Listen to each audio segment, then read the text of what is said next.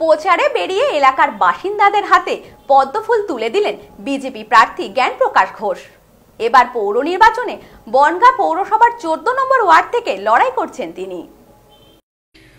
Vote প্রচারে বেরিয়ে স্থানীয় বাসিন্দাদের হাতে পদ্মফুল তুলে দিচ্ছেন বিজেপি প্রার্থী। বনগাঁ পৌরসভার চোদ্দ নম্বর ওয়ার্ড। এই ওয়ার্ড থেকেই এবারের পৌর নির্বাচনের বিজেপির প্রার্থী হয়েছেন জ্ঞানপ্রকাশ ঘোষ। বড় ব্যবসায়ী জ্ঞানপ্রকাশ সাদামাটা জীবনযাপনে স্বাচ্ছন্দ্য বোধ করেন। বিশেষ ধার্মিক মতে বিশ্বাসী প্রার্থী। দিনের বেশিরভাগ সময় ধর্মকর্ম পূজা, অর্চনাতে কেটে যায়। বিশেষ ধর্মীয় মতে বিশ্বাসী হওয়ার কারণে শুধুমাত্র সাদা বস্ত্র পরিধান করেন। এবারের ভোটের ময়দানে প্রার্থী হয়েছেন তিনি। পৌরসভার পাঁচ নম্বর ওয়ার্ড এলাকার বাসিন্দা জ্ঞানপ্রকাশ ঘোষ। প্রার্থী হয়েছেন চোদ্দ নম্বর ওয়ার্ড থেকে। প্রতিদিন সকালে পৌঁছে যাচ্ছেন নিজের নির্বাচনী এলাকায়। ভোট প্রচার করছেন নিয়মিত। এদিন দেখা গেল, ভোট প্রচারে বেরিয়ে সাধারণ মানুষের হাতে দলীয় প্রতীক পদ্মফুল তুলে দিচ্ছেন। এ বিষয়ে প্রার্থী বলেন, আমাদের দলীয় প্রতীক পদ্মফুল সে কারণেই পদ্মফুল তুলে দিচ্ছি এলাকার মানুষের কাছে।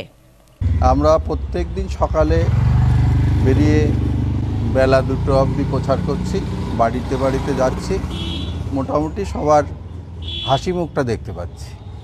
আমাদের মনে হয়েছে যে আমরা যে প্রতীকী দাঁড়িয়েছি, সেটা মানুষের কাছে পৌঁছে দেওয়া সেই চেষ্টাটাই আমরা করে যাচ্ছি।